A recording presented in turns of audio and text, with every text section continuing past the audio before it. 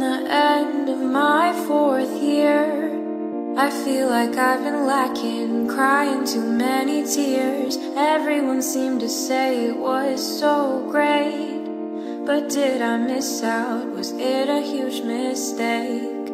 I can't help the fact I like to be alone. It might sound kinda sad, but that's just what I seem to know. I tend to handle things usually by myself. I can't ever seem to try and ask for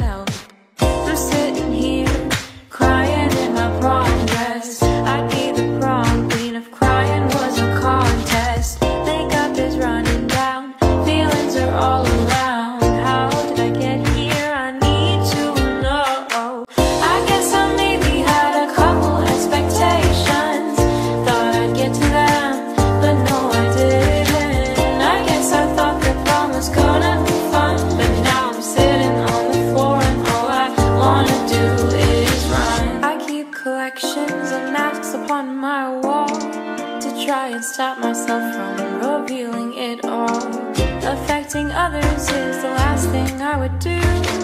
I keep to myself though I want to break through. I hold so many small regrets.